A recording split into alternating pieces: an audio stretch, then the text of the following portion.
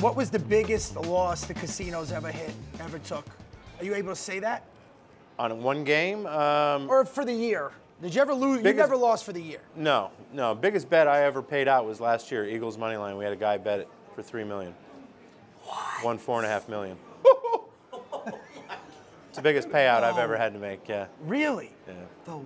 You pay him in cash? Yeah, you send him a check. What do you do? What do you do? Uh, I think we probably uh, gave him uh, chips, and he went to the cage, and then You gave him four arra- million dollars in arranged chips. it, arranged it somehow.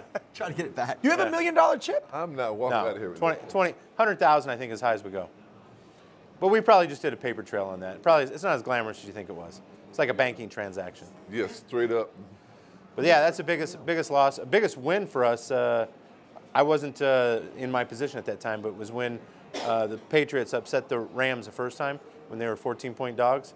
Uh, we had a guy bet uh, over seven million on the money line on the Rams. Who are these people? Yeah, That was like did seven million on the money line win? I was going to win them like uh, 400,000 or something like that.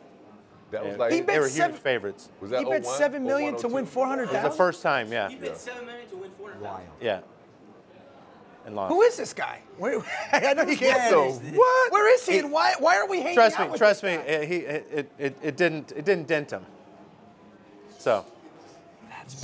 Man. the. It's crazy.